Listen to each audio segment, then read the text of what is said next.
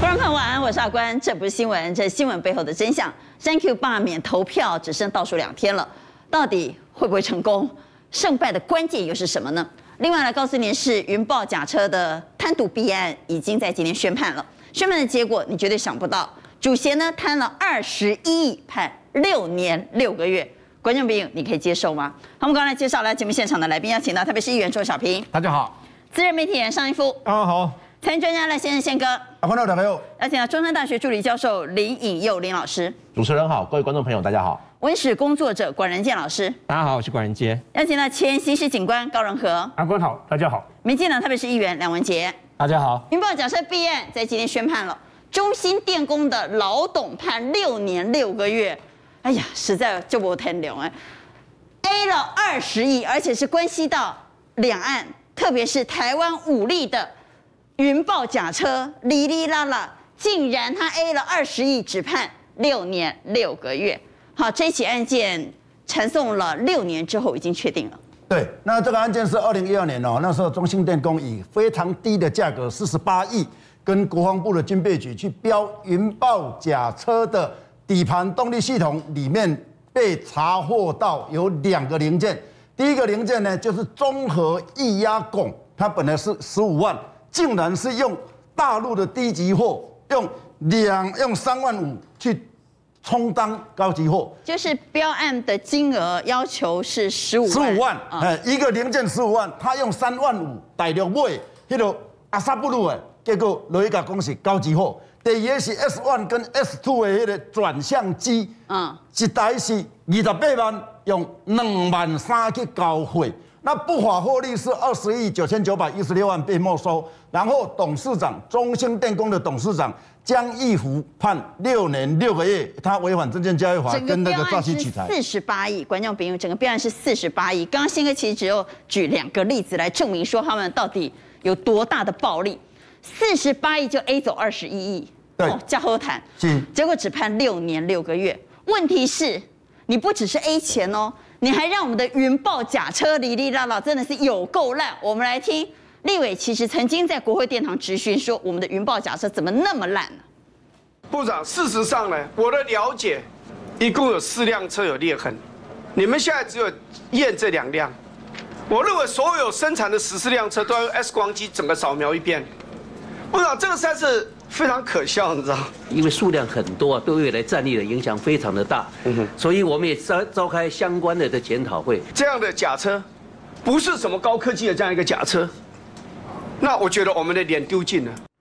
啊，实在是有够喊们了哈。对，你知影迄一台假车偌济无？七千五百万啊，拢总一百九十四台啊，结果哩哩啦啦，而且当初那个契约哦，明文规定禁止用中国制造的产品哦，他还是给他用下去哦，而且因为要要整个验收的过程里面怕验收不够，还这个去行贿那个仓管人员，然后整个验收过了，验收过以后，是呀、真正哩哩啦啦，所以大家就会觉得说啊，到底中兴电工董事长江义虎是何方神圣？他在一九九八年接中兴电工的董事长的时候，我那阵做股票，大家拢奇怪，那有这个人从来没听过啊。中兴电工是党营企业，哎、较早是党营企业，你一个什么人江莎莎做董事长？后来报章就写，哦，原来他是曾文慧亲弟弟的女婿，哦，阿姨叫曾文慧，叫阿哥，叫当初的总统。李登辉叫高长，原来有这层的关系，他原来只是一个调查调查员跟这个外战的主任而已，所以真的是因为这样的一个一层的关系，以后裙带关系当上了董事长。所以他还涉及内线交易炒股案嘛？对炒的就中兴电工的股票、对啊，啊，行嘛做，你看是讲股票嘛被差，我们的云豹假设也要 A，一个唔难呢哦，以前哦，二零零六年你就是咧咧台电的咧六输六输配电系统内底，就共款这个代志啊，结果被台电禁权一年呢。但是这个代志，所以讲哦，因家是好像耳朵目济啦。那到底这个云豹假车到底有多烂？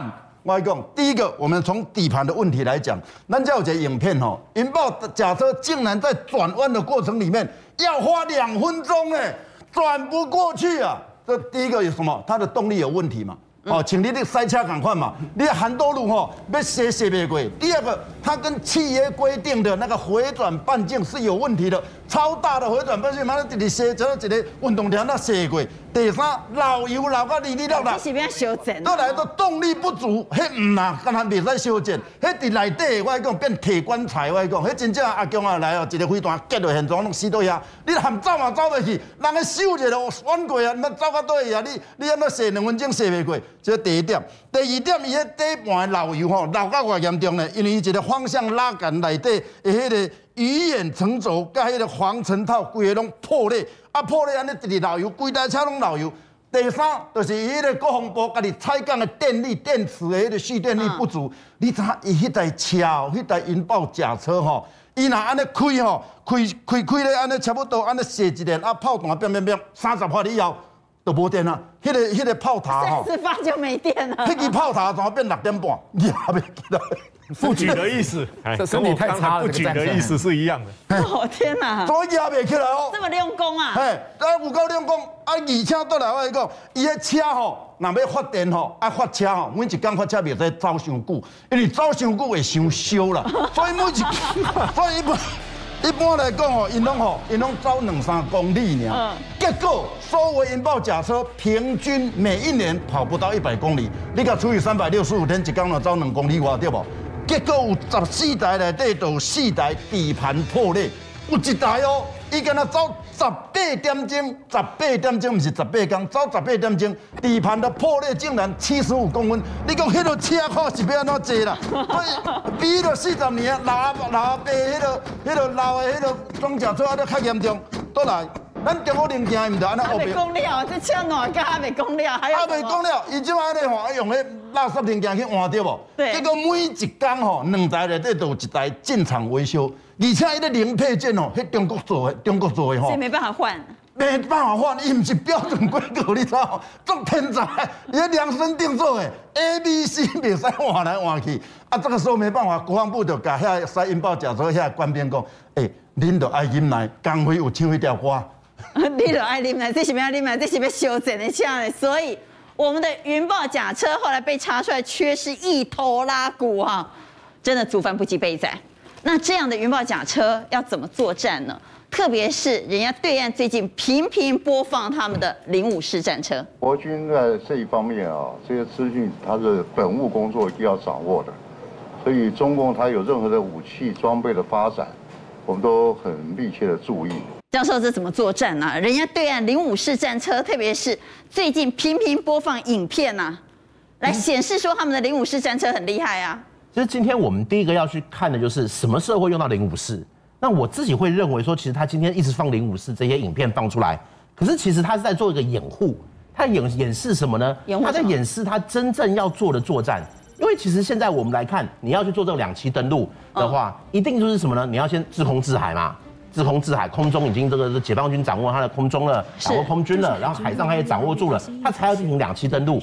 可是现在的登陆作战已经不是这个两栖登陆了，现在的两栖，以前的话我们会看到像是什么呢？诺曼底登陆啊，大家冲啊杀呀，这个两栖战车就从这个岸上这样子冲上去了嘛，以前是抢滩的嘛。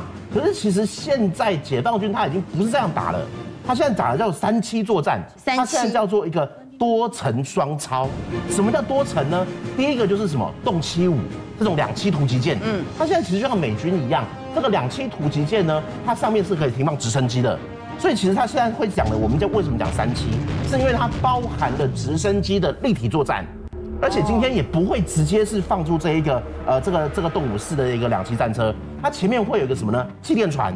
所以其实第一层是动七五那种大的大的那种两栖动七五画面上看到的这这一种，然后再来呢，第二个的话呢，就是什么呢？这种气垫船啊，气垫船，气垫船上面才会再带着这个动这一个动五式战车。为什么？因为以前我们有讲过这一个呃这一个动五式战车或等等，它要沙滩呐，它才可以这样抢滩呐，它要一个地形的一个它有一个限制。可是如果今天是气垫船的话呢，它就可以长驱直入。所以其实今天我们来看的话，今天他要打台北市的话，以前我们说可能在淡水啊或者金山呐这样好登陆，可是那个登陆的地方是有限制的。你知道，我知道，大家都知道，有有几个滩头是比较好登陆。可是如果他今天是用气垫船的话，他就直接从淡水河一路直接进来，那淡水河一路冲进去到哪里呢？大道城，大道城的话，再把动武市放下来，就一路冲哪里了？台北市，直冲中中央。所以从这个这样子一个角度来看的话，我们可以看到为什么我们要去做这个官渡师啦，以前叫官渡师嘛，是现在官子部嘛，官渡为什么这边我们要去做防守，就是要去挡住他的这个作战。那另外的话，我们刚刚讲多层双超，另外呢双超是什么呢？解放军他就会讲说，第一个是超视距，什么叫超视距？就是他今天要跨过这一个地平线，超越这一个滩头，会变成这个空中的力量是相当重要的。那空中力这里的话量很重要。就会变成他今天已经不是这种在地面啊，在这个看头嗯。跟你建立桥头堡，然后再这样慢慢往往里面推进去，是我的气垫船就直接长驱直入，配合我的直升机在敌后就把他的部队放下来。哦。所以其实这一边的话，我们可以去看到的就是说，为什么我们最近有买这个 M1 战车啦，或者是我们因为知道我们的的这个。云豹战车是没有办法修正的。这两个是两两个东西啦，因为不一样哈。这个云豹它是属于假车这个部分，那 M1 战车的话，它是要去取代我们的以前讲勇虎式战车这种嗯老的战车，因为如果今天解放军它在敌后，就是这一个不管是气垫船也好，还是直升机，它如果在我们的后方放下来的火力已经可以超过勇虎式战车的话，那我还要这战车干嘛？会变成我们需要更强的战车来跟他在这个对在这个后方去稳固我们的一个安全。